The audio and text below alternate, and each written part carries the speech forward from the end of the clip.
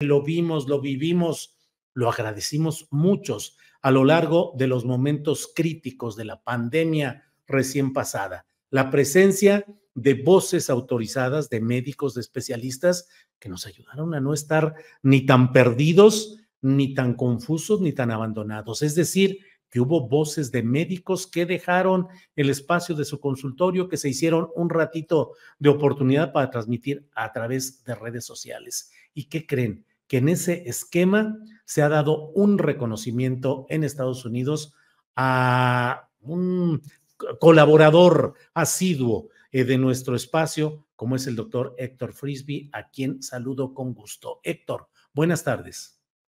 Julio, ¿cómo estás? Buenas tardes. Un saludo a todos. Nada más una rectificación. El premio, fíjate que, digo, no es por hablar mal de la patria en donde vivo, pero este, gran parte del tiempo que también ando por México algún tiempo, el, premio realmente fue en el Reino Unido, en Londres dieron el ah. premio y es un premio internacional.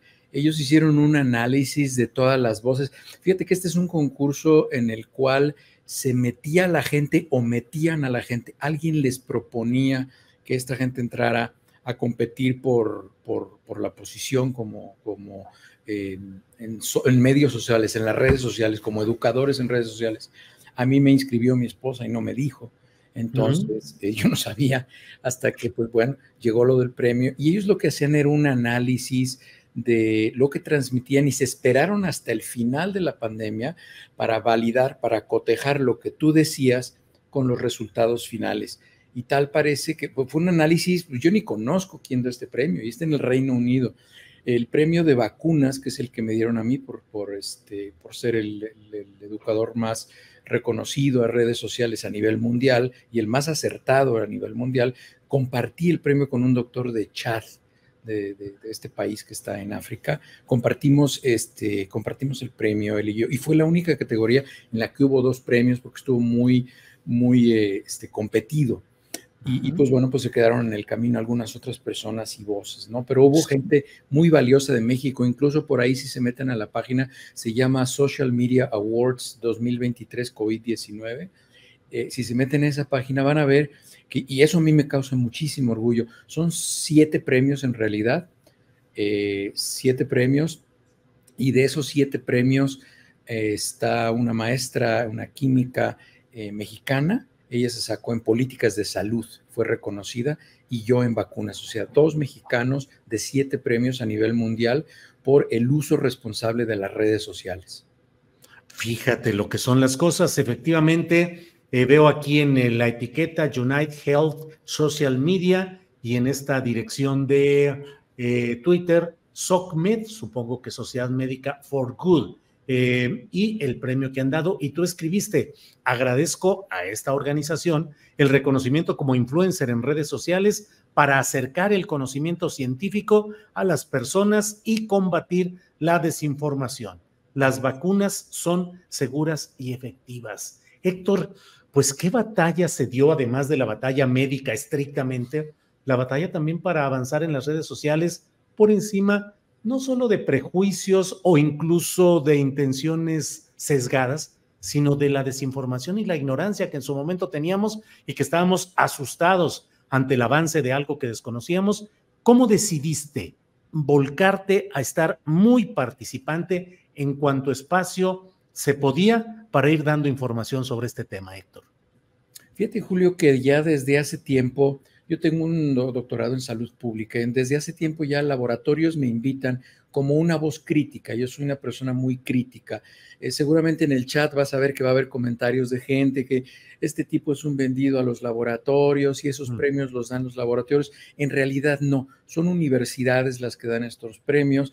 Entonces, eh, sí se involucran por ahí algunos, pero no hay dinero, ¿eh? A mí no me dieron, no es un centavo, no, yo no recibí ni un centavo, ni me patrocinan laboratorios. Y justamente a mí me empezaron a llamar por esto de, la pandemia COVID-19, cuando empezaba en febrero, marzo del 2019, porque conocían mi posición crítica respecto a el manejo de las pandemias, cómo se habían hecho. Este, yo critiqué mucho, por ejemplo, que México se endeudara en, la, en lo que sucedió en el 2009, creo que fue cuando fue la H1N1, México pidió un préstamo de mil millones de dólares, una cosa así, que nadie supo dónde quedó ese dinero. Entonces, porque esto, esto de la salud pública es, es, un, es un esfuerzo muy imbrincado. Entonces, yo ya tengo tiempo y soy más bien crítico. Y yo he criticado, por ejemplo, los efectos secundarios de las vacunas. Tengo un programa en mi canal de YouTube porque quienes más perjudicadas estuvieron por los efectos secundarios de las vacunas fueron las mujeres. Les alteraba su ciclo menstrual, les causaba dolores,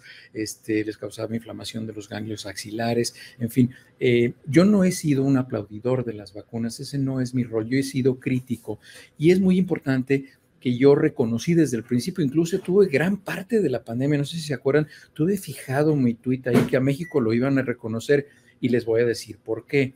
Porque hay dos laboratorios de aquí de Estados Unidos y uno en Europa que por cuestiones de confidencialidad no puedo decir los nombres, e incluso un laboratorio chino, que pedían mis consejos y eh, yo conocí cómo eh, México empezó a hacer esfuerzos a través de pues, la persona en la cual confió el presidente López Obrador, que fue Marcelo Ebrard, porque él tenía las conexiones a nivel mundial para acceder rápido a las vacunas. Eso fue algo que yo conocí en septiembre del 2020. Es decir, a etapas muy tempranas empezaron a, promocionarse estos esfuerzos en México y yo por eso me atreví a fijar mi tweet, porque yo sabía los resultados que iba a haber en México. ¿Pudieron haber sido buenos los resultados? Claro. Yo critiqué, por ejemplo, cosas que se hicieron en México, como no vacunar a los prestadores de servicios de salud que no trabajaban en instituciones de salud o que no trabajan en unidades COVID porque, pues como ustedes recordarán, la mayoría de los pacientes COVID no sabíamos que tenían COVID, entonces se exponían los trabajadores de servicios de salud. Esa fue una decisión que yo nunca entendí por qué se tomó así en México y la critiqué porque muchos compañeros que se dedicaban a prestar servicios de salud murieron porque se infectaron, no estaban preparados. Muchos compañeros, desafortunadamente, no llevan una vida activa, son obesos, fuman, este, y eso les ponía en un grupo de riesgo, ¿no? Entonces, Hubo cuestiones que yo critiqué y hubo también cuestiones que yo reconocí. A México se le reconoció por la reconversión hospitalaria, por el tratar de acceder a las vacunas, con el equipo este de esta mujer. Yo la conocí en una reunión a Marta Delgado, creo que así se llama, quien estaba más movida con lo de las vacunas del equipo de Marcelo Ebrard, y eso hizo que México tuviera tantas vacunas. Y por ejemplo, eh, las vacunas que llegaron a México son ahora casualmente las que menos efectos secundarios tienen eh, a mediano y a largo plazo. Entonces, yo creo que las decisiones fueron bien tomadas, se tomaron en un país con mucha desigualdad, con mucha pobreza y con una estructura de vacunas dinamitada desde, pues no sé, la, empezaron a destruir desde principios del siglo XXI.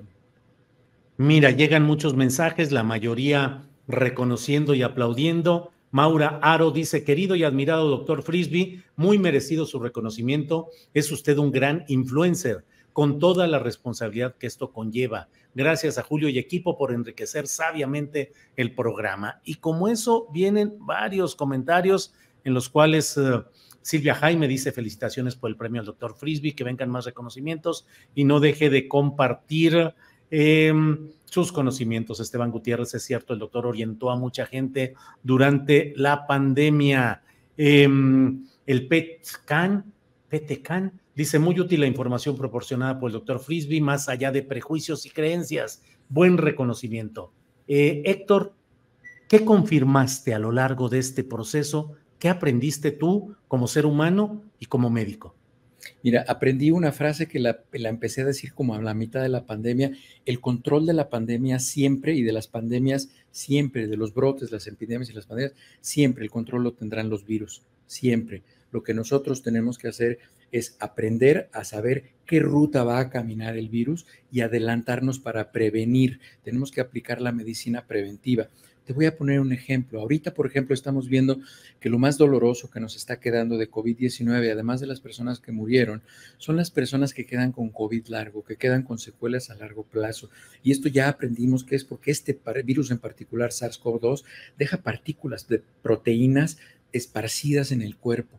Entonces estaba teniendo una reunión la semana pasada con dos laboratorios que hacen vacunas y yo les recomendaba que hicieran los nuevos modelos de vacunas y que incluyeran estas proteínas, que hicieran biopsias y que identificaran exactamente qué proteínas son las que se están depositando en los tejidos para que esas proteínas sean destruidas por el sistema inmune y se disminuya la posibilidad de tener COVID-19 en el futuro a largo plazo, de COVID largo en el futuro. Entonces, todo esto es un proceso de conocimiento e investigación. Y mira, de las personas que se dedicaron a embarrarse en politiquería y en decir cuestiones sesgadas con política y criticar todo lo que hacía el gobierno y engañar a las personas, yo la verdad de que de eso prefiero hablar muy poco, pero sí espero que tengan la conciencia tranquila, porque mucha gente dejó de vacunarse con vacunas de origen chino, con vacunas de origen ruso, que son vacunas útiles, que son vacunas que le hubieran servido a alguien que decidió no vacunarse. No hemos visto los brotes impresionantes en los maestros que fueron vacunados con la vacuna de Cancino, que decían que iban a suceder. Entonces, todas esas personas, la verdad es que pues, este, y tengo entendido que algunas de ellas hasta se inscribieron en este concurso, porque después yo conocí quienes estaban inscritos, y pues bueno, deberías oír la opinión que tienen las personas que revisaban sus publicaciones en redes sociales. Este, obviamente, pues por nuestras palabras nos conoceremos. Y ahí está, ahí está la evidencia de lo que dijimos y ahí está la evidencia de lo que ha pasado a lo largo del tiempo. ¿Cómo te fue? ¿Cómo percibiste tu trabajo en las redes sociales y en ese ambiente mexicano muy controvertido? ¿Cómo te sentiste expuesto ante esa vorágine de las redes sociales, Héctor? Mira, yo he aprendido que con las redes sociales lo que tienes que hacer es, como en la vida, tienes que ser muy selectivo a quién le respondes. Yo por disciplina personal no le contesto a personas que no tienen un nombre en su cuenta, que tienen nombres así, este, pues que no son personas, pues eso es algo que aprendí. Y lo segundo es que desafortunadamente hay gente que está muy malsana en su entraña y que no le importa que sus palabras vayan a causar un daño en sus semejantes. Ellos tienen un interés, tienen una agenda mental, emocional, económica y van a decir burradas. Este, que van a lastimar a las personas, pero eso ya cae en la conciencia de cada quien. Héctor, y eh, te agradezco mucho esta posibilidad de platicar y de compartir además con el auditorio este reconocimiento que has recibido. Pero, ¿cómo ves las cosas? ¿Cómo vamos? ¿Vienen nuevas oleadas? ¿Estamos ante algún peligro sensatamente caminante? ¿O más o menos estamos a salvo, más o menos, Héctor? Sí, vienen, vienen otras, otras variantes de los virus. La mayoría de las personas ya están protegidas. Las, las variantes, sigue siendo Omicron, sigue siendo Omicron la, que tenemos actualmente, pero hay, hay variantes, hay este, subclases de Omicron que están llegando y estas le están demostrando, no es una gripita normal para que la gente no piense esto, hay que protegerse, hay que cuidarse porque desafortunadamente, como les digo, estas variantes también tienen la capacidad de causar COVID largo, que son efectos a largo plazo. Entonces hay que tratar de cuidarse para tratar de infectarse menos y pues bueno, las personas que no estén vacunadas, que se vacunen y las personas que tengan dudas sensatas, reales, eh, bien intencionadas, me las pueden consultar y vayan a mi canal de YouTube. Ahí yo he criticado algunas cuestiones relacionadas con las vacunas. Aquí no es blanco y negro, son tonos de gris.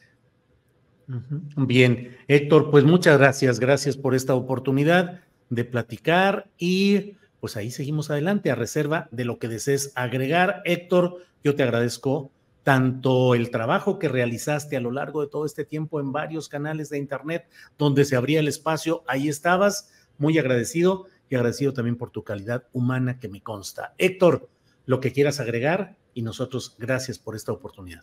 Yo les agradezco a ustedes, por, incluyéndote a ti, Julio, por haberme dado la oportunidad de, de, comunicar a través de tu canal que ven tantas personas. Y pues miren, es ah, esto que yo ofrezco a través de las redes sociales es como una charola que tiene viandas, que tiene frutas. Quien quiere las consume, quien quiere no, y quien quiere ni siquiera voltearlas a ver, está bien. Este, yo ofrezco la oportunidad de que la gente tome buenas decisiones yo no obligo, no critico a quien no lo hace y pues los educadores en salud pública eso es lo que hacemos, ofrecer información lo más sustentada científicamente posible en el momento para que la gente tome las mejores decisiones de manera responsable. Héctor, muchas gracias y seguimos en contacto. Muy amable Héctor Frisby. Un buen día a todos, hasta luego.